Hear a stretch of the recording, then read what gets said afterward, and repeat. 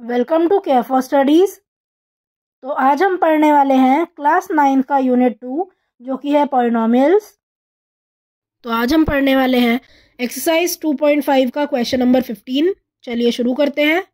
Give possible expression for length and breadth of each of the following rectangles in which their areas are given अब यहाँ पर area given है rectangle का, और हमें possible length और ब्रेथ का एक्सप्रेशन मालूम करना है कि क्या होगा। है ना? तो एरिया यहाँ दिया है twenty five a square minus thirty five a plus twelve है ना?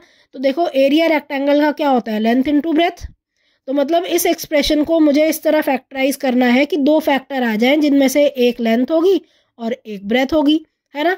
अब देखो, इसे हम फैक्टराइज कर सकते हैं by using middle term split method है ना? तो ये बीच वाली टर्म हमें स्प्लिट करनी है कुछ इस तरह से कि जो बीच की स्प्लिटेड दो वैल्यूज़ हैं उनको ऐड या सब्ट्रैक्ट करके तो यही है, बीच की टर्म माइनस थर्टी फाइव है। पर उनका जो प्रोडक्ट हो, वो क्या है? वो आए ट्वेंटी फाइव और ये जो पहली दो टर्म है ट्वेंटी फाइव ए स्क्वायर और ये ट्वेल्व इनका प्रोडक्ट है ना? इस तरह ही करेंगे। मतलब ऐड या सब करके क्या आना चाहिए? माइनस थर्टी फाइव ए है ना? और मल्टीप्लाई करने के बाद आना चाहिए ट्वेंटी फाइव ए स्क्वायर और ट्वेल्व का प्रोडक्ट तो अब देखो, क्या करेंगे हम? कैसे करेंगे? ये जो ट्वेंटी फाइव ए स्क्वायर और ट्वेल्व है है ना? इनका जो प्रोडक्ट आएगा, उसका फैक्टर निकालो। अब मैं ए स्क्वायर को अभी यहाँ पर ऐसे ही रहने दूँगी। आप क्या करो, सिर्फ़ ये नंबर लो ट्वेंटी फाइव और ट्वेल्व है ना? इनके फैक्टर बनाओ, है ना? इनके फैक्टर बनाओ, देखो क्या होगा। ट्वेंटी फाइव के factor five into five twelve क्या होता है? फोर इंटू थ्री है ना? तो ये क्या हो गया? इनका जो प्रोडक्ट है इनका प्रोडक्ट जो भी होगा, उसके फैक्टर यही हो गए। ये एक ज़्यादा आसान मेथड है फैक्टर निकालने का कि आप क्या करो ट्वेंटी फाइव के फैक्टर लिख दो ट्वेल्व के फैक्टर लिख दो और बीच में मल्टीप्लाई का साइन लगा दीजिए। वरना आपको क्या करना पड़ेगा? मैंने कहा प्रोडक्ट करने के बाद इनका क्या आना चाहिए? इन दोनों को मल्टीप्लाई करके आना चाहिए, है ना? तो इन दोनों को आप पहले मल्टीप्लाई करोगे, फिर जो नंबर आएगा उसका फैक्टर निकालोगे बहुत लंबा प्रोसेस हो जाता है। तो वो करने से अच्छा क्या करो इन दोनों के आप अलग अलग फैक्टर निकालो और मल्टीप्लाई कर लो, है ना? अब देखो, इसे और अगर आप सिंप्लीफाई करो फोर को आप टू इंटू टू लिख सकते हो, है ना? और थ्री इस तरह से आ गए अब देखो, इन्हीं फैक्टर को आप कुछ इस तरह रीअरेंज करो कि थर्टी फाइव आए, है ना? कुछ इस तरह से रीअरेंज करो। तो देखो, अगर मैंने यहाँ एक फाइव ले लिया, है ना? और इसे पेयर कर लेते हैं, चलो थ्री के साथ। क्या आ रहा है? फिफ्टीन और बाकी क्या टर्म्स हैं? बाकी जो बची five into two ten ten into two twenty बिल्कुल। अब यहाँ ये देखो फिफ्टीन और ट्वेंटी को अगर मैं ऐड कर रही हूँ, क्या आएगा? फिफ्टीन और ट्वेंटी को ऐड करने पर आ रहा है थर्टी फाइव है ना? तो ये हम कंसिडर कर सकते हैं फैक्टर क्या करेंगे अब देखो, मैंने कहा कि इन दोनों को, इन दोनों का प्रोडक्ट करके क्या आना चाहिए? ये आना चाहिए ट्वेंटी फाइव और ट्वेल्व तो वो तो आ रहा है। अब इन दोनों को ऐड या सब्ट्रैक्ट करके मैंने क्या कहा? मैंने कहा था third minus thirty five a आना चाहिए। अब यहाँ आ रहा है प्लस का थर्टी फाइव है ना? प्लस का आ रहा है। तो आप क्या करो? जब भी साइन की ही बस एक दिक्कत हो तो आप क्या करो? दोनों नेगेटिव फैक्टर ले लो, है ना? बस एक साइन की ही तो प्रॉब्लम आ रही थी। अब यहाँ मैंने फिफ्टीन भी नेगेटिव का ले लिया ट्वेंटी भी नेगेटिव का ले लिया। इन दोनों का प्रोडक्ट यही आ रहा है। और इनको जोड़कर, अब देखो क्या आएगा? इनको जोड़कर माइनस थर्टी फाइव आएगा, है ना? तो प्रॉब्लम क्या हो गई? यहाँ हल हो गई। आपने दोनों नेगेटिव के टर्म्स ले लिए। अब देखो, यहाँ आप क्या लिख सकते हो? ट्वेंटी फाइव ए स्क्वायर तो ऐसे ही रहेगा। माइनस थर्टी फाइव ए की जगह आप क्या लिख लो? माइनस थर्टी फाइव ए की जगह आप लिख लो। माइनस फिफ्टीन है माइनस ट्वेंटी है।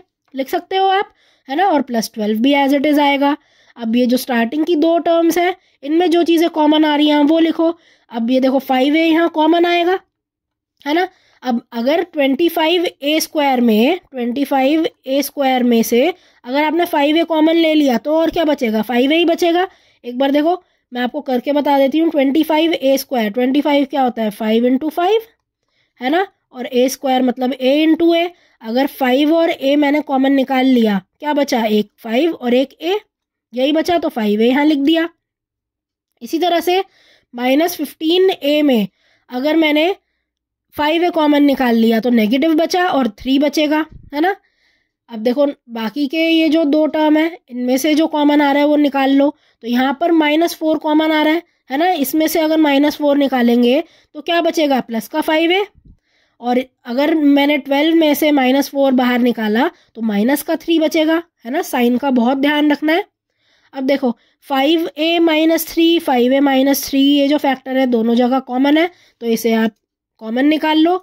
यहाँ बच जाएगा फाइव ए यहाँ बचेगा माइनस फोर है ना? तो फाइव ए माइनस फोर का दूसरा फैक्टर बन गया। अब ये दो फैक्टर्स यहाँ बन चुके हैं। इनमें से कोई भी एक लेंथ है, कोई भी दूसरी ब्रेथ है। तो आप लास्ट में यही लिख लो यहाँ पर कि जो पॉसिबल लेंथ और ब्रेथ है, वो क्या हो सकती हैं? जो वो हो सकती हैं फाइव ए माइनस थ्री और फाइव ए माइनस फोर कोई भी एक इसमें से लेंथ हो सकती है और कोई भी एक इसमें से ब्रेथ हो सकती है। नेक्स्ट यहाँ पर एरिया जो दिया है वो है thirty five y square plus thirteen y minus twelve अब यहाँ पर भी क्या करना है? ये जो एरिया है, ये अगेन रेक्टेंगल का है तो एल एन टू बी के बराबर है। तो यहाँ पर भी हमें दो फैक्टर निकालने हैं सच दैट मल्टीप्लाई करने पर जो मिडल टर्म को आप स्प्लिट करोगे, उनकी जो नंबर है, उन्हें मल्टीप्लाई करने पर तो क्या आना चाहिए? मल्टीप्लाई करने पर thirty five y square multiplied by minus twelve है ना? जो भी आंसर आता है उसके बराबर होना चाहिए और ऐड या सब्ट्रैक्ट करके क्या आना चाहिए? थर्टीन आना चाहिए थर्टीन वाई के बराबर, है ना? तो अब क्या करो? फिर से आप सिर्फ़ नंबर ले लो और नंबर के फैक्टर निकालो। थर्टी फाइव और ट्वेल्व के आप फैक्टर निकालो? तो देखो, फिर से ज़्यादा आसान क्या है? थर्टी फाइव और ट्वेल्व थर्टी फाइव को आप क्या लिखो? आप इसे लिखो सेवन फाइव ज़ा होता है है ना? और ट्वेल्व क्या होता है? फोर थ्री ज़ा। सबको मल्टीप्लाई करके लिखा हुआ है मैंने। तो इससे फैक्टर आ जाएँगे थर्टी फाइव इंटू ट्वेल्व जो भी नंबर आता है, उसके फैक्टर आ जाएँगे। अब देखो seven into five into four को टू इंटू टू लिख लिया और इंटू थ्री अब यहाँ पर देखो, हमें कुछ ऐसे नंबर चाहिए जिन्हें ऐड या सब्ट्रैक्ट करके थर्टीन आए, है ना? देखो क्या करेंगे अब हम। यहाँ देखिए, अगर मैंने एक नंबर ले लिया यहाँ पर, मान लीजिए, मैंने ले लिया, एक सेवन ले लिया पेयर करते हैं इसे, चलो, इसे पेयर करते हैं टू के साथ। क्या आ रहा है? सेवन टू ज़ा फोर्टीन अब बचा क्या? थ्री टू और फाइव इन्हें अगर मल्टीप्लाई करेंगे तो क्या आ रहा है? इन्हें मल्टीप्लाई करेंगे, आ रहा है थर्टी तो ऐड या सब्ट्रैक्ट करके थर्टीन नहीं आ रहा, है ना? तो इसलिए ये वाले फैक्टर्स हम यहाँ नहीं लेंगे, है ना? ये फैक्टर्स नहीं लेंगे। अब देखो, मैंने क्या किया? अब सेवन लिया। सेवन को एक और टू ले लेते हैं, चलो टू इंटू टू मतलब सेवन फोर ज़ा ट्वेंटी एट ये एक ले लिया नंबर और फाइव थ्री ज़ा क्या? फिफ्टीन एक नंबर ले लिया फिफ्टीन है ना? तो अब देखो, अगर मैंने अब यहाँ देखो, इन्हें सब्ट्रैक्ट किया ट्वेंटी एट माइनस फिफ्टीन क्या होता है? थर्टीन ही होता है। है ना? मतलब ये वाले फैक्टर्स हम यहाँ ले सकते हैं। अब देखो, यही आप यहाँ लिख लोगे। थर्टीन को आपने लिख लिया, क्या? Twenty eight y minus fifteen y है ना? तो अब आप क्या देख सकते हो यहाँ? ये जो स्टार्टिंग के दो नंबर है, इनमें से अब आप कुछ कॉमन ले लो। उसके बाद ये जो नेक्स्ट दो नंबर है, इनमें से आप कुछ कॉमन ले लो, है ना? जो भी कॉमन आ रहा है। थर्टी फाइव वाई स्क्वायर और ट्वेंटी एट वाई में क्या कॉमन है? दोनों में आप देख सकते हो सेवन वाई कॉमन है, वो मैंने कॉमन ले लिया। अब अगर थर्टी फाइव वाई स्क्वायर में से थर्टी फाइव वाई स्क्वायर के एक बार फैक्टर निकालो क्या होंगे? Seven into five into y into y अगर सेवन और वाई यहाँ से चले गए मतलब मैंने कॉमन निकाल लिया तो फाइव वाई बचा। ये यहाँ लिख लिया। इसी तरह ट्वेंटी एट वाई में से अगर ट्वेंटी एट वाई क्या होता है? Seven into four into y इसमें से अगर सेवन वाई कॉमन आ गया तो क्या बचा? फोर बचा प्लस का तो ये यहाँ लिखा हुआ है।